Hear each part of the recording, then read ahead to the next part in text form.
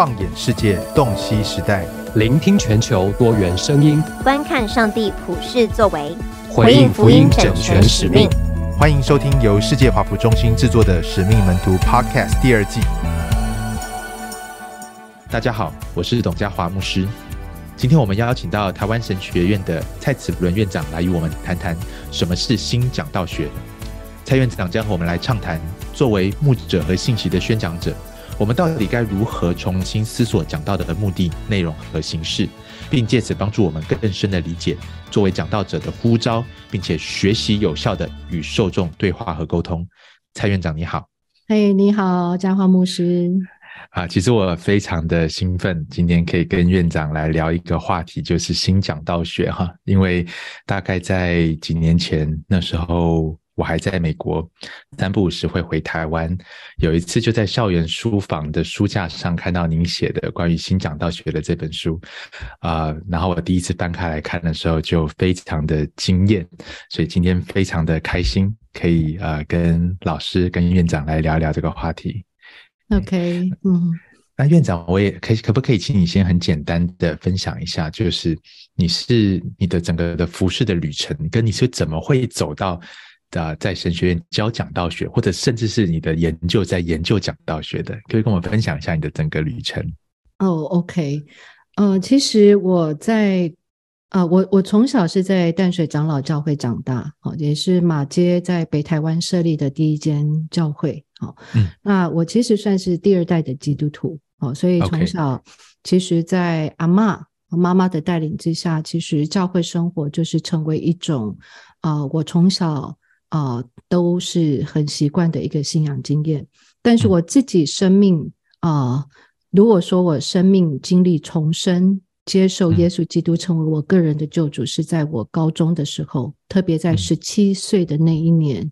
啊，在一次很平常的主日礼拜当中。那当然，那之前是有经过啊，就是都是在教会。啊，固定的参加礼拜啊，甚至教儿童主日学服饰。好，但是在十七岁的一天，在一般的主日礼拜当中啊，我感受到上帝的呼召啊，就是坐在台下听到啊，我们的母会牧师在分享当初他怎么被上帝呼召，呃，感受到有一股啊从上而来的，我不断的流泪。好。那那时候在高中的时期，我也在思考我人生未来要做什么。那我很清楚，我跟神说：“神，如果你这么爱我，我可以为你做什么？”我觉得当下，我认为当牧师是一件我最羡慕的事。哦，我觉得可以 全时间对。那所以就这样，我就啊，大学毕业之后啊，我就马上啊，就是迫不及待哈，从高中一直在。等等，就是能够进到神学院读书。说我大学一毕业，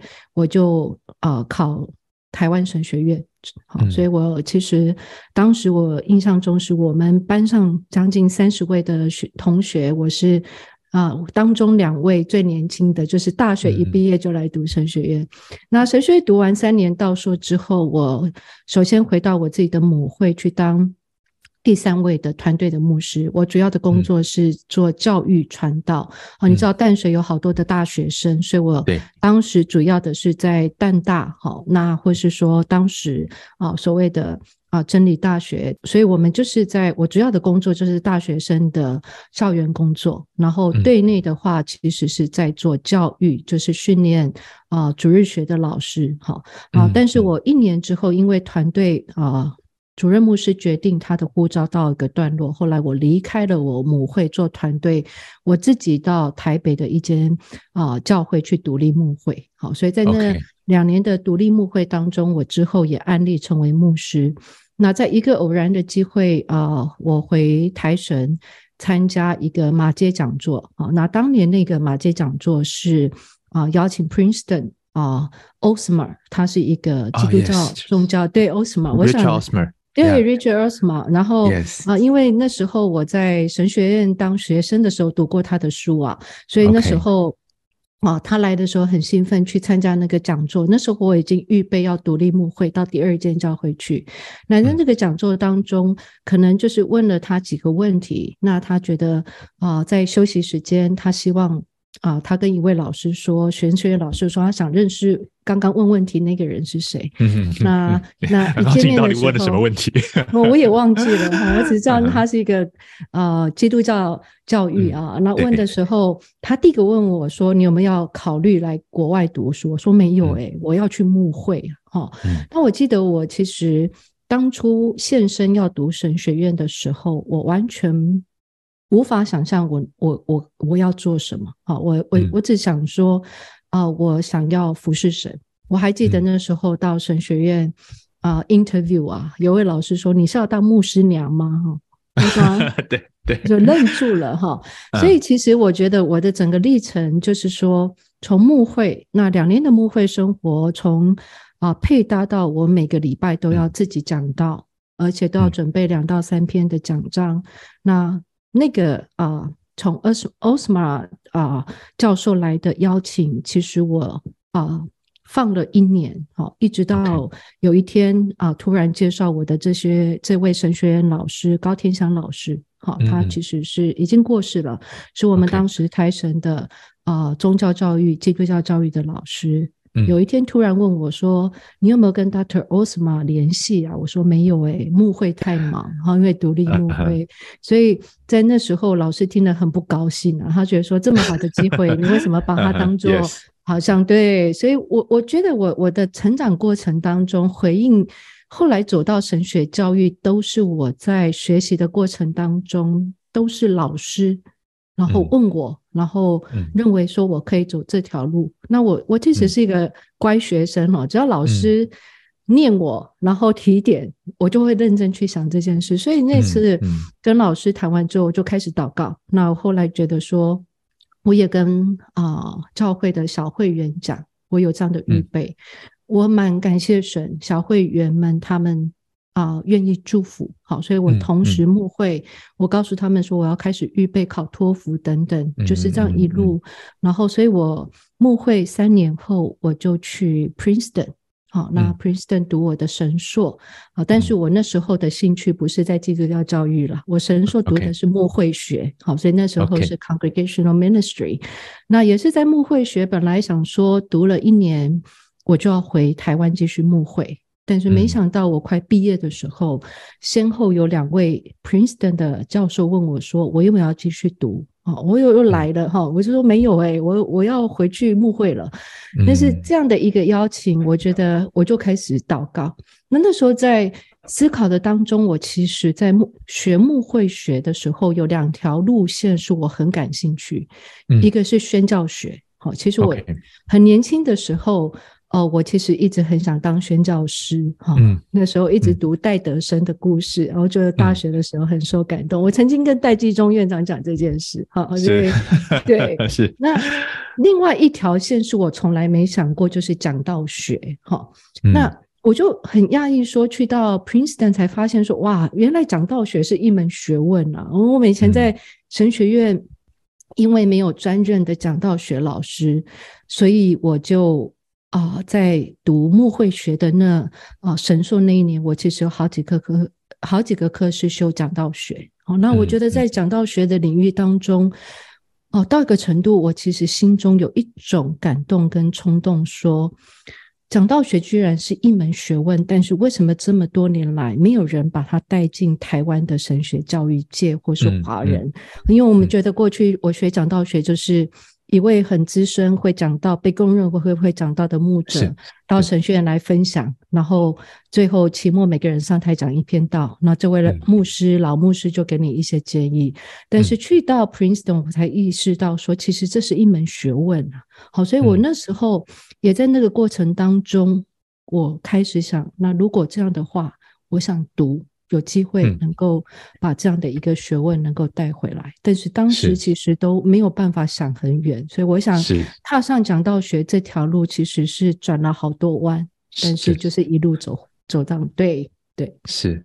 呃，虽然老师啊、呃院长刚刚讲到说转了很多弯，但是我刚才听起来的时候，呃，却有一个很特别的巧合，因为你提到你在十七岁听讲道的时候，感受到上帝的呼召对是，啊、然后绕了一圈，上帝带你啊、读讲道学。那另外一个我看到的是，其实作为老师，真的可以在学生生命当中扮演很重要的角色。啊、你提到好多个不同的老师，他在不同的时候问你的问题，可能都跟你当时原本想的方向不太一样。对，可是很多时候，上帝却透过这些啊、长辈啊、的不经意的一句话，或者是出于关心的一个鼓励，就让我们的人生走上一条我们曾经不曾想过的路。啊，所以我听的时候其实蛮感动的。那包括你刚才讲到说对这个宣教学的负担，其实偷偷跟院长讲，也也不是偷偷了，因为 podcast 就播放出去了，就就是跟院长讲说宣。教师吗？其实我大我大学的时候，我真的觉得我是被呼召，我可能将来就是当宣教师。然后我那个时候心中的这个这个 spiritual hero 就是戴德生，啊真的是戴德生，真的真的。然后我家里还有 那你一本定是读戴德生跟玛利亚的故事，对不对？而且很那受那也是对对。然后还有另外一本是戴季中院长的父亲戴少曾牧师送我爸爸的一本戴德生的自传。然后我十七岁的时候在读他的自传，读到呃戴戴少珍院长签名的那页，被我的泪水给浸到整个就是字都模糊了。真的真的所以我那时候其实真的，所以你刚才听到讲到宣教 Hudson Taylor 的对时候，哇，我我心里面也是很很很激动。哦，哇哦！谢谢你跟我分享，我没想到我们有曾经有那一段，也是在大是学的是时候，是是是，对对对，但是讲到讲到学，特别是呃，其实很多人提到蔡院长想到的就是新讲道学。啊、那当然，很多时候因为可能院长是第一个在华人教会当中有系统的写一本书在谈新讲道学，嗯并且在整个华人的神学教育当中开始教导这方面的呃，嗯开始有这样的教导。那可不可以请院长先简单的介绍一下什么是新讲道学？而且既然它叫新讲道学，那是不是有个所谓的旧讲道学呢？对对对，是是是，我我先说哈，其实嗯我我的那本教科书，我嗯现在如果能够重写，我觉得会更好。但是我觉得就是那个时，呃，我一直觉得，如果要改变一个世代的神学教育，一定要先从教科书着手。哦，所以我那时候刚从美国回来，发嗯现没有教科书可用，其实教学是很困难。好、所以我觉得，但是是那个是在算呃呃比较早期，但是那只能说尽其所能的。将自己认为还可以带给升学生。那所谓的新讲道学，其实呃，讲道学这个新讲道学，我我会称它是一个运动。那嗯它的运动啊、呃就像你看教会历史当中许多的运动，虽然你会说是在哪一个时间点，但是常常这样的运动是经过一段时间的酝酿。嗯好比说宗教改革，好，我们虽然说一五一七是马丁路德张贴九十五条大纲，但是其实你看整个教会历史，从中世纪末、那种想嗯改革的声呼声是不断的。那这个新讲道学运动，我们一般把它定义到一九七零年代。那其实嗯。它，哦、它是有好多股力量，哈、有呃圣经的，哈、因为呃讲道学其实是集所有神学教育之大成整合，所以你就会嗯。发现说，任何一个学科它的改变、它的更新，其实都会带来讲道的的影响。好，嗯。它除了圣经学，除了神学，好比说重新去啊、呃意识到嗯。自由神学对啊、呃北美教会讲台的影响，而重新有一股回归啊、其实这是从巴特，或是说从比巴特更早，好一位啊、苏格兰的神学家啊 Forsyth 都开始这种回归到啊、福音神学，好，所以嗯。也包括所谓的。当代沟通学，好，大家对嗯。当代沟通学有一种新的理解，对沟通什么是沟通，而听众变成是很重要。那这个背后还不可忽略，还包括像礼拜学。好，你如果看呃嗯嗯天主教的礼拜运动，在一九六二六三年第二次梵蒂呃梵二会议之后，好，所以嗯一个新讲道学，我会觉得说，它其实好像就是汇集一段长时间不同的呃学术领域的更新嗯运动之后会酿成。那如果用讲道学来讲，呃。好比说，我常常啊、呃喜欢提的四叶奖章的这个理论的啊、提出的 Scott Wilson，他就说，其实新讲道学从一开始就是一个神学运动。好、嗯那其实他在讲什么？这个神学运动，特别是讲的是呃重新恢复到福音的重要性啊。嗯，好、嗯那所以我喜欢从这个角度来谈，因为常常讲到新讲道学，那它一定是对等就讲到学，但是这个旧指的是它所兴起的时代背景，六零年代、七零年代的北美的状况。当嗯时，啊我们如果了解美国近代史，你会发现那是一段非常动荡不安。你从黑人真人权的运动所带动的甚至各种社会的议题，不管是啊、呃之后所带动的啊、呃女性的啊、呃争取他们的女权，或是说啊各种啊、呃举例来讲，像堕胎、同性恋，好、或是说各种社会议题，甚至像啊、反战。好，怎样的哦？这样整个一个动荡不安的当中，其实当时的讲台是有所危机的。好，我们常嗯。说，啊、当社会议题很多的时候，讲台几乎都在讲处理这些议题，而处理这些议题背后，啊、它有一个很重要的一个神学的影响，我们常说是社会福音，哈啊，social gospel 的影响，而这样的一个影响常常会。在讲台带出两个东西不见了，一个是圣经不见了。好，就是说嗯，当你把所有的焦点都放在社会议题，而呼吁人们要去参与在社会世界的改革，甚至啊、主张人靠着人的努力可以在地上建立上帝国的时候，你会嗯。发现当时神学家啊、圣经学者、讲道学者关注的是，好像圣经已经不在讲台重要了。好，嗯那也为什么在那个时代会有一些的圣经学者重新说，我们要恢复以圣经为根据的讲道 （biblical 嗯 preaching）。好，所以我觉得嗯这个是那第二个，当圣经不见的时候，福音也会不见。好，福音嗯啊、说穿了，我我我觉得啊。讲到新讲道学是一股福音啊，社呃神学运动指的是重新回到讲道要宣讲福音，福音说穿了就是你要把上帝做什么，上帝的心意、上帝的应许，那它相对的一个概念就是律法嘛，人做什么。嗯好，所以在这样的一个当中，它是一个神学运动，是因为发现好多的讲台在这种啊、呃社会动荡不安当中，已经变成一种都叫人去做。好，所以啊、呃有一个讲道学者甚至说，啊，几乎我们应该是讲台，应该是要讲福音的，但是一群传道人都变成嗯。是律法的代言人。嗯因为我们把人不可能做的一直叫人去做，所以我想嗯。这股运动，我喜欢从神学来开始，嗯。它是一股神学以及圣经的运动，重新嗯。把圣经跟上帝放回讲台的中心。那之后才会讲到说各种不同的理论。那如果没有这样的开始的话，我觉得很容易以为它只是一股在花俏各种的理论而已。其实不是的，它本质是一个神学跟圣经运动。谢谢院长先帮我们厘清它的缘起跟他在回应的是什么，呃而不是立刻的跳到不同的新讲道学的方法跟技巧上面。是其实刚刚院长提到的时候，当年六零年代北美的处境跟相对于今天也非常的像，在华人教会当中，全球的处境当中，其实我们都在一个非常动荡的世界。是是那的确，我觉得作为一个讲道者，我们或者作为一个听道者，很多时候也希望讲台的人能够告诉我们可以怎么做，告诉我们一些具体的做法，能够呃，可能就是更安稳啊，或者是保住平安啊，或者是 呃，用属灵的讲法，就是活在上帝的保护当中。呃，但是无形当中，当我们好像过度的强调人要做什么的时候，好像上帝变成一个背景。啊，甚至我们所宣讲的内容只是好的建议，而不是所谓的好的消息。那其实我还想，还等一下想请老师呃再多谈这这些呃延伸出来的这些不同的流派。但是呃，可能刚才听到这里，我我有一个想问的，就是说，这是一九六零年代、七零年代在北美处境下对当时社会的一个回应。对。那老师觉得，相对于今天的华人教会或者是台湾的教会，嗯哼，呃，你觉得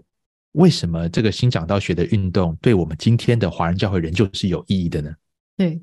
呃，我觉得如果撇开它的时代，就像刚刚啊、牧师你所谈的，我们现在面对的时代，其实你会发现说，历史真的有时候看你会发现。日光之下没有新鲜事，我们现是其实现在新面对。你看现在好像历史又重演，你看现在在北美的政治情况，你看嗯堕胎的议题又重现，好，虽然嗯。哦，那甚至多了像种族的议题等等，好，是所以我觉得说，其实这个的社会动荡不安，似乎让我们看到啊，甚至多了一个是当时我们没有办法想象的是疫情 COVID nineteen，所以我自己会觉得说，不仅是在华人或台湾，其实整个世界的局势，嗯啊、嗯我觉得这几年来，啊，战争依然，嗯，好、是啊、种族的议题，好、是啊、或是我们刚刚说啊、各种社会相关的议题，贫富不均的议题，好、或是嗯啊、我我我觉得教会在面对的，如果我我甚至会觉得离啊、当时的六零年代、七零年代没有太远。好嗯那为？什么他还是因为哦？我必须说我自己回来台湾教书，现在是第十四年。嗯哦，我们的讲台，我们的讲台，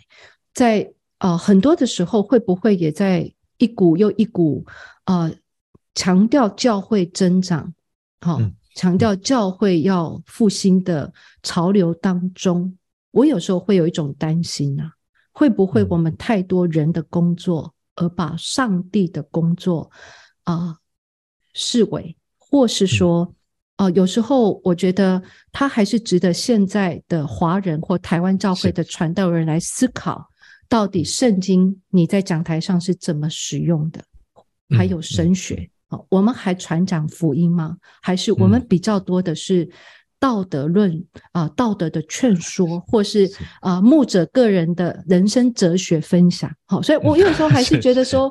有时候如果我们啊、把今天的台湾讲台呃再做一点点更啊、仔细的检验的时候，嗯好像我们也在面对同样的挑战。这是我自己个人的观察。对，好，谢谢院长。那当我们继续往下谈的时候，就是说，那好，那那我们认同这样的一个理念，而且的确非常的重要。因为如果讲台不讲上帝的作为，如果讲台不讲福音，坦白讲，这跟去外面去听一场关于世界趋势的演讲，怎么建立建有幸福的婚姻关系，怎么去交朋友，其实是没什么两样的。真的，真的，真的，对，那具体来讲，刚刚院长也提到说，呃，包括我们怎么样在讲道当中来引用圣经、使用圣经。对。那院长可不可以就跟我们介绍一下新讲道学的不同的一些流派，而且你觉得说是对今天的华人教会在呃，因为每个主日每个教会都有讲道嘛，是那那听这个使命门徒是 podcast 的的听众，可能有一半以上的人，他们就是那个站讲台的人啊，可不可以跟我们简单的介绍一下？那具体来讲，那到底到底这些策略或做法大概是有哪一些哦，可以供我我想我？刚刚讲的是本质哈，就是说新对讲道学其实是一个神学运动，但是我们就从一般讲道学来讲说，构成讲道有两个主基本的元素，一个是内容，一个是形式。好，所以嗯内容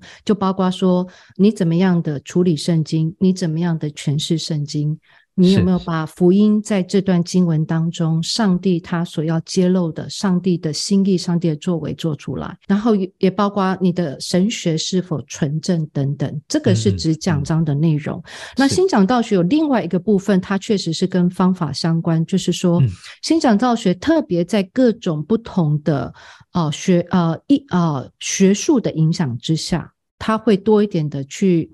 把焦点放在形式。好，我们英文说嗯嗯 form，、但是这个形式其实是呃不只是奖章的结构哦，事实上形式它是在面对的是说，当你已经有呃知道你要说什么奖章的内容的时候，你要找到嗯。什么样的方法，把福音找到最对的方法传递出去。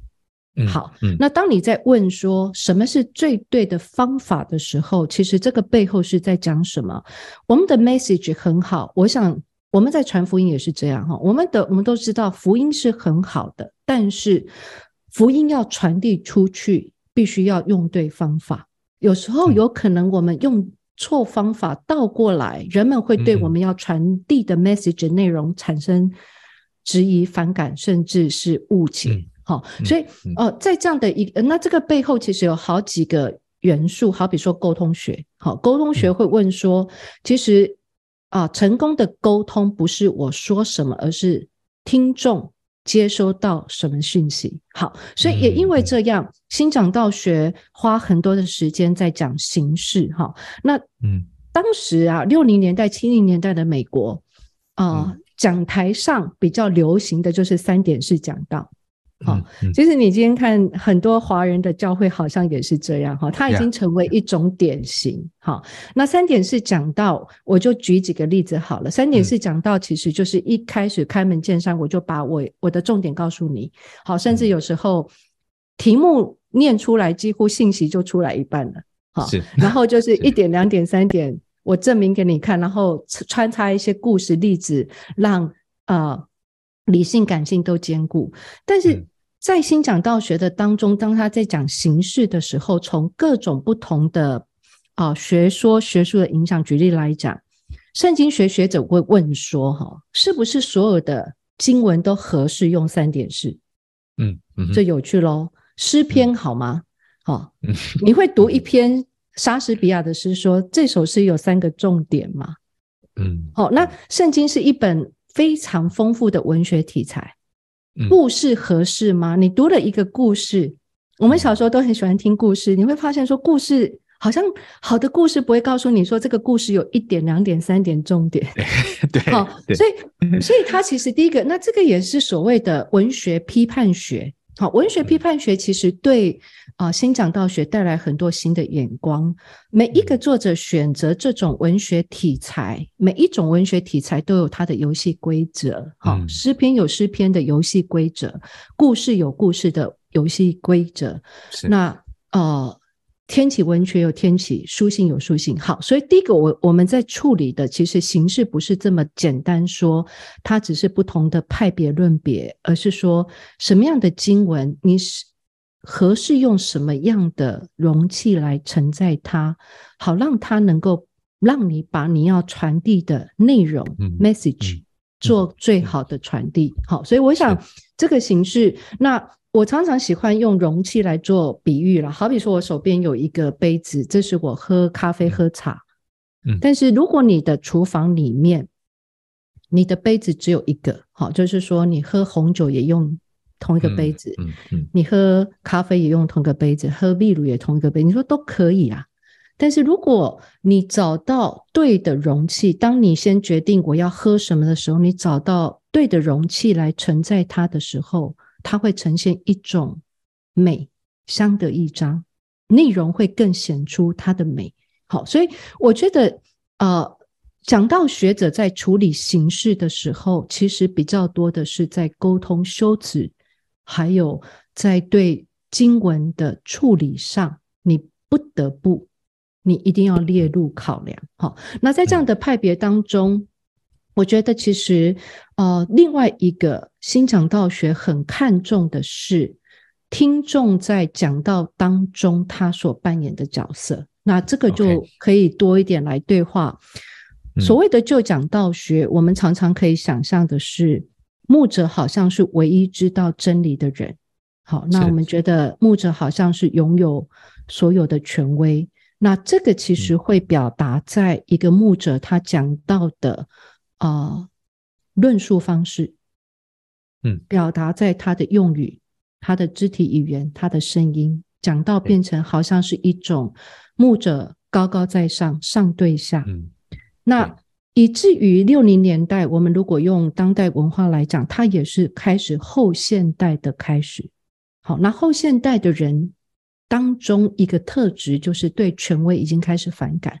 对所以呃，新讲道学七零年代常常被认为一个新讲道学的始祖 f r e d Crowder，他写了一本，他本身是圣经学老师，但是写的这本书成为新讲道学一个很重要的代表作。他的书名叫做 As One Without Authority，就像一个没有权威权柄的人。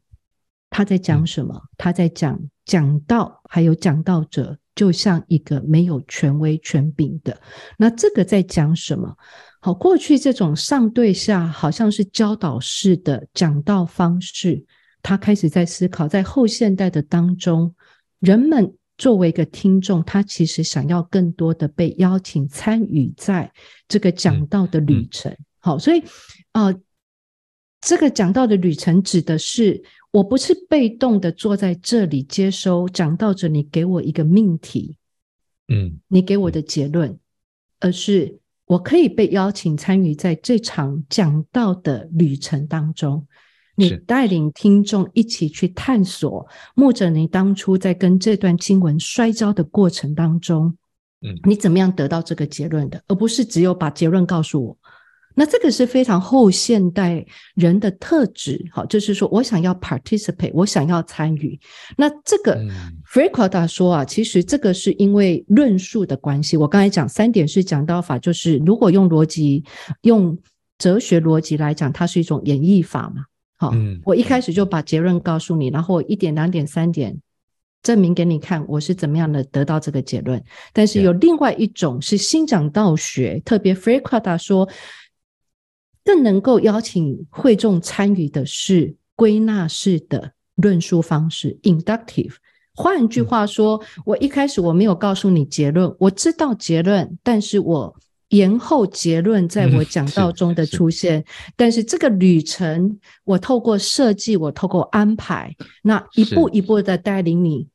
到最后的目的地。所以我想，新讲道学可以说是重新对旧讲道学的这种沟通方式，特别在后现代文化之下所提出的一种的反思跟反动。对，是哇，谢谢谢谢院长，因为提到两个非常重要的重点，就是第一个是对形式的看重，那包括像沟通学者麦克鲁汉，他也讲到说，其实 the medium is the message，我们沟通的管道它本身就在传达一些信息了。对，所以，当我们知道这个信息是什么的时候，我们就应该要去想什么样的管道，洗诗的方式，还是以这个故事的方式 （narrative） 的方式，还是是用三点讲到逻辑演绎的方式？那第二个，可是院长也提到说，其实呃，过去很看重的是讲道者这个人他讲的内容，但是现在很看重的是听众他的参与。那也让我想到啊、呃我们共同的一个朋友万利豪牧师，他有一次在跟我聊天的时候，啊、我就我就我就问他说：“嘿，Peter，你讲到的秘诀是什么？” 啊、他他很谦卑，他就说：“啊，我不知道秘诀是什么，但是有一点是我常在想的。”他说：“传统的讲道常常是在告诉别人 ‘you should’，你应该，你应该，你应该。”但他在预备讲到的时候，他表达方式的时候，他试着去引起听众的共鸣，是 “me too”，哦，我也是。讲到彼得的时候啊，我也是是啊，彼得会这是个人啊，我我也是。然后很自然的就带他进入到这个经文的脉络当中，然后去看到，哎，那上帝对于这样的处境，上帝有什么话要说？上帝有什么作为要做？对嗯，我我很喜，我很谢谢你提啊万万利豪牧牧师 Peter 的这个对讲到的，我觉得很有趣哈。其实嘉华牧师讲到也很棒哈。我记得你上次来台神的时候，我们师生们非常感动哈。我觉得其实讲道学很有趣，你本身也是读实践神学，实践神学有的东西说，我们其实在做的当中，我们有。领悟一些东西，我们只是没有把它用理论哈。其实你在讲的这个，其实也是新讲道学，他重新在思考说，你讲到的目的是为了什么？嗯，哦嗯，如果讲到的目的，我只是要教导的话，这是我是们平常过去就讲道学。我觉得我们以前好像对理解就是说，哦，呃呃。呃甚至讲到被污名化哈，你看在美国的文化里面，青少年会跟父母说 “Don't preach to me” 哈，啊你不要再对我讲。我们会觉得，然后日文的讲道叫说教，汉字叫哦 s e g o 哈说教。我觉得其实我们过去的讲道可能也是受启蒙运动的影响。我们定义说讲道的目的就是教导，我觉得这是很多传统老一辈我们对讲道的理解。那如果是教导，我就是一个老师啊，你就是学生啊，那你就是被动的接收我给你的这些的东西。但是新讲道学在问一个问题：讲道是教导而已吗？不止，讲道是为了要转化人的生命的时候，因为我们说嗯。这是讲道要转化人的生命，是因为他重说讲道是要宣讲福音嘛？那我们说嗯福音就是上帝的大能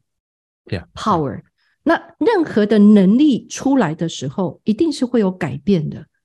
好、它不会只是说只是一个呃 information 而已。好、嗯所以我觉得这也是新讲道学带来一个重新对旧讲上道学的修正跟反思，是说讲道的目的到底是什么？如果它是转化生命的时候，诶，这个转化生命不只是听众哦，嗯也包括讲道者。那如果讲道者如果在准备的讲章当中没有进到这个经文的世界去经历这个话语所带来的转化。就很难带出同样的转化，在一个礼拜的讲道的事件当中，所以我觉得刚刚那个万利豪牧师、Peter 牧师讲，我觉得那个是真的，就是很新讲道学重新对讲道的认识。我觉得这个是啊，跟旧讲道学很不一样的地方。对，是是是，哇啊！其实我后面还预备了好几个问题，但是讲到这，我们时间已经用完大部分了。但是我自己是很兴奋 啊呃，就是这个。如果大家对这个还是有很大的兴趣的话，我非常推荐蔡老蔡老师蔡院长写的这本《当代基督教讲道学》啊，是二零一一年校园出版的。我觉得里面有很呃详细的，我们今天讲了一个小时，其实呢很有限，可是里面有很详细的一些呃一些内容啊，包括在介绍新讲道学跟不同的流派。那接下来我想要 switch gear 一下，啊换换档，就是说，呃，老师刚刚讲到新讲道学。的缘起，跟他在回应的，也讲到他的一个很重要的，跟传统讲道学可能焦点有两个不太一样，一个是讲形式，一个是看到听众的角色跟参与。那作为一个女性的讲道者，其实因为过去很多时候讲到讲台，我们想到都是男性的这个 preaching figure 啊。其实第一个我们我蛮惊讶的是，呃，刚刚老师在提到你十七岁呃被感动的时候，要服侍上帝的时候，你就想到要做牧师啊，我。我不知道这是不是长老教会台湾长老教会的这个宗派本身就已经很接纳女牧师了。的确很少有女性啊，在这个感动的时候的第一个想法是做牧师。那那对，所以我很好奇，就是说，哎，老师也可不可以呃分享一下，作为一个女性的讲道者。你觉得说，我觉得不只是作为一个女性的讲道者，在今天华人教会可能还是习惯男性讲道为主的这个氛围里面，她的挑战是什么？可是反过来，她的优势是什么？因为呃，既然也有挑战，也一定有她潜在的优势。上帝造男造女，所以上帝的话语的宣讲，我相信也是给男生，也是给女性的。嗯，可不可以请请老师从过来人的角度可以谈一谈？是是，呃，我很谢谢嘉浩牧师刚刚有这样的观察。坦白讲，我在十七岁被上帝呼召的时候，我非常的羡慕做牧师。当时的我，其实我不知道，哦，第一个，我我的成长过程当中，我没有女牧师这样的角色在我生命当中。我的成长过程当中，我们的教会都是男性牧师。好，但是当我十七岁被上帝呼召的时候。啊，我的母会教会没有女牧师，但是我的宗派里面确实有一些女牧师，虽然是当时是比较二十多年前，好，哦，它是比较少数，好，但是确实是。啊，台湾长老教会其实是有案例女牧师的，好，那呃，女牧师其实啊，我觉得这个是我们在面对未来的一个趋势。我举例来讲好了，嗯，啊，现在全世界各地大多数的教会。嗯。其实女性徒是比男性徒多，好，那你就可以想象，来读神学院的女同学也比男同学多。其实这个已经是我们神学院这几年来的实况，而且是多很多。好，那这几年我觉得我们看到的是很高兴，是读道硕的姐妹是越来越多，比男性多。那姑且不论说我们预备好了没，但是我觉得这个是教会必须去面对的一个实况。好，那我觉得呃，我自己在北美读啊书，接受北美的讲道学训练。但是啊，我也很讶异。其实我们一般认为说，西方的教会可能在这个议题上会更开放，但是也不见得。好，我觉得啊，西方的女传道们、女牧师们也经历过一段很辛苦的呃的历史。好，那我觉得在华人的教会，哦，当然，我觉得作为一位女牧师，第一个，我们可能从小许多的女传道人被呼召。跟我一样，我没有所谓的讲到母亲，我只有讲到父亲。好，所以我们很多早期的啊女牧师，我们的讲道会比较像男性，甚至中性，这是不可讳言的，因为我们没有一个 role model 在我们的生命当中，我们需要比较辛苦的去揣摩。一个女性讲道者，她又要担任带领一个呃会众的时候，那是像什么样的样子？好，可能在各行各业都已经有许多的女主管了，但是在教会的处境当中，她是一段啊女性她必须去揣摩，好，甚至啊在这股女性讲到。啊，主题的研究当中，他们喜欢用一个表达说，女性必须去找回、找到属于自己的讲道声音啊。好，把声音当做一个比喻，因为这个声音啊，那我过去有不同的机会，在不同的教派神学院教讲道学，好，我也真的有感受到啊，在啊许多的教派当中，他们对案例女牧师到现在，就像嘉化牧师说的。还是没有开放的，好，那我也在不同的场合看到许多女性传道人的眼泪，好，他们真的感受到上帝呼召他们要成为一位上帝话语的仆人，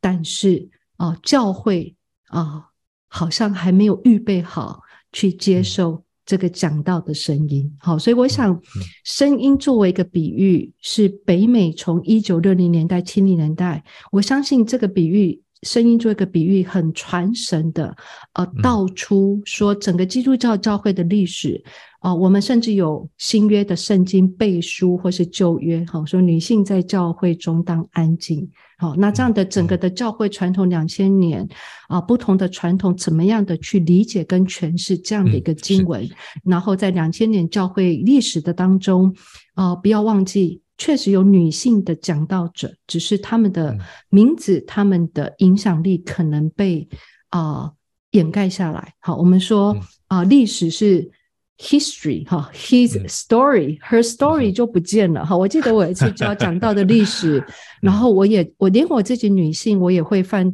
我也被同我的神学生提醒啊。我有一次教讲到的历史，然后我就是按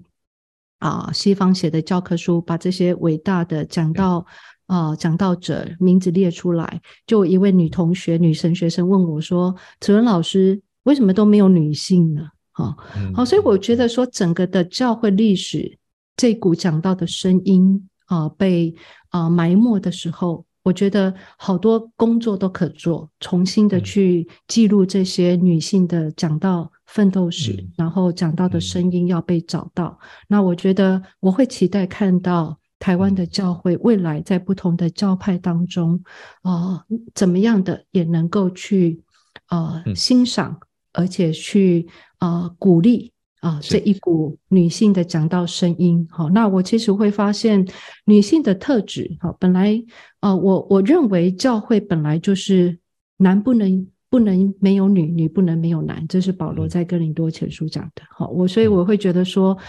两种声音都是很重要。我常常笑说，我们常常都是在单亲家庭长大，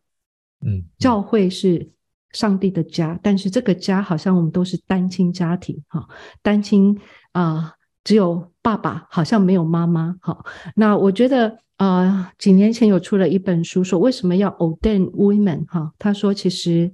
一个孩童他们做研究，如果一个孩童成长过程当中同样有男性、女性的教会领导者的时候，这样的孩童长大，他的整体的发展是比较健全。他也会对自己更有自信，而且懂得怎么样的去对待另外一个不同性别的群体。好，所以我觉得，其实我希望看的是，能不能从福音的角度，就像扎花牧师说的，上帝造男也造女，而且重点是上帝的呼召。而不是因为性别而限制了上帝的主权跟呼召的时候，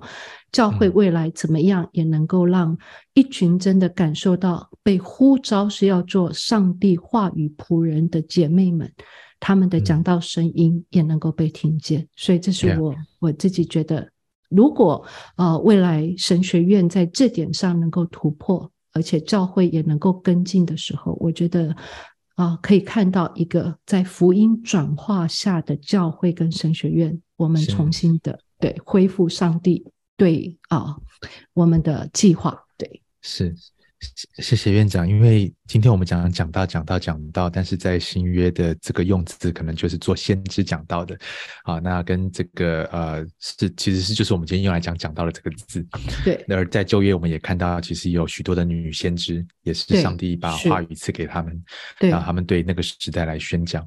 好，那所以呃，我觉得当我们在阅读圣经、理解圣经的时候，我们可以从旧约、新约不同的角度来去分辨、去查验，说，哎，上帝的心意到底是什么？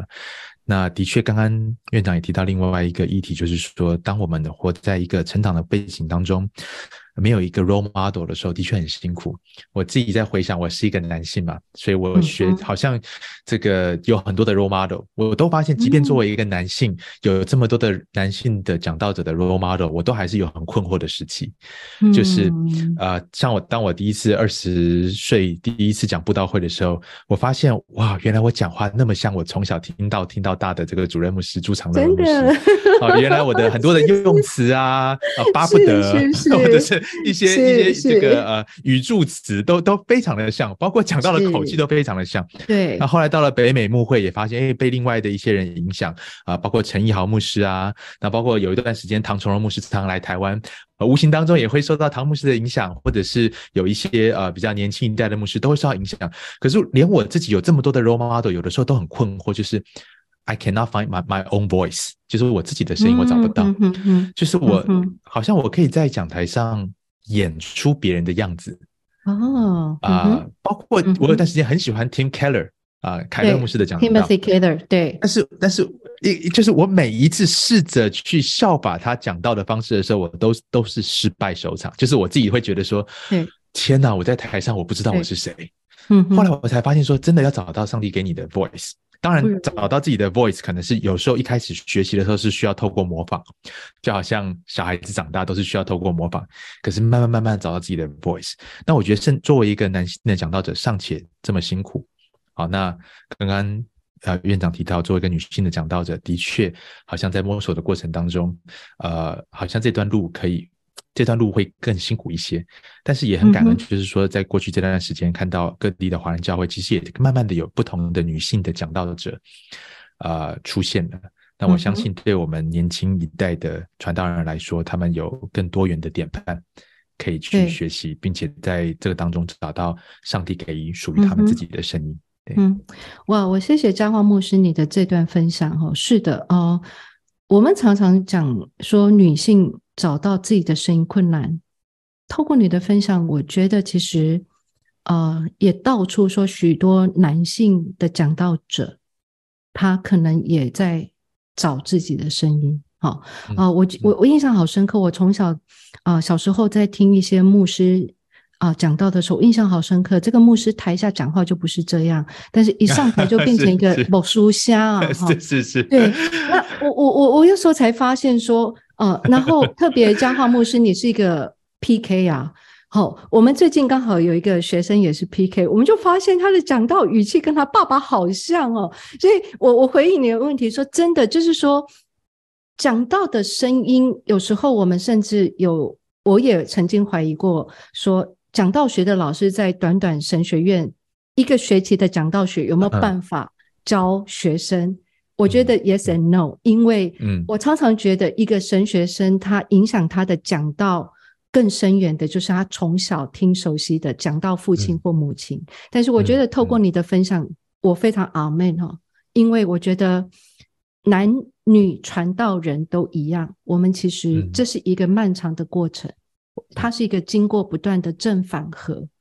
嗯，也因为啊，我们以为这是我们的声音，但是在成长的当中，我们又再次的被挑战，说这个不是你。我我自己觉得，在这个过程当中，那确实哈，呃，女性她会更辛苦，因为这个声音要包括这个文化，她能不能接受？第二，这个文化对女性的刻板印象跟期待，好，那甚至在成长过程当中。很多女性已经就不太敢表达自己的声音，好，所以啊，曾经有一个呃讲道学者，他女性讲道者，我觉得这句话我很阿门。他说，对一个女性啊传道人讲道者来讲，如果你可以勇敢的说出你的看法、你的声音的时候，也开始表示你从一个迈向一个成熟的开始。哦，但是这只是一个开始。那我觉得，如果用这个角度来讲，我觉得不见得只有女性传道人，当男性的牧者也能够，哦，不受哦。我觉得进一步了解男性整个文化加加诸在男性上的期待，嗯嗯，刻板印象，哦，男儿有泪不轻弹，或者说那种刻板印象导致有些男性他没有办法真的说出他的声音。而他是需要模仿一个他认为可能是更有魅力、更有说服力、更有权威的声音来借他的声音做我的声音，所以我觉得男女所面对牧者所面对的可能是一样啊。我们啊，这个是一辈子我们需要去不断的。探索跟寻找的，对，是谢谢院长的分享。虽然我还有两题还没问，但我们时间大概没有办法了。但是刚刚院长最后讲到的最后，我也真的觉得说，其实一个很深的提醒。作为一个讲道者，我们需要常常的去聆听上帝的声音，以至于在众多的声音当中，呃，我们能够透过聆听彼此的声音。聆听上帝的声音，而找到上帝赐给我们的声音。再次谢谢的院长，谢谢院长的分享。好，谢谢，谢谢，谢谢，谢谢蔡子伦院长的分享。基督徒在生活当中花最多时间行动的场域，大概是职场。而在职场这样高压的竞争当中，到底基督徒如何在这样的环境中实践使命，又如何在复杂的人际关系当中，既不滥用身为基督徒的身份？又能够在职场当中真正的做光做盐呢？我想这是许多职场人士心中的疑问，也是许多牧者在牧养职场人时会被问到的问题。下周我们邀请到现任联发科副总经理的范明熙博士，一起来诚实的聊聊上述这些议题，以及作为一个职场人，他怎么看福音与成功神学的不同。我们下周见。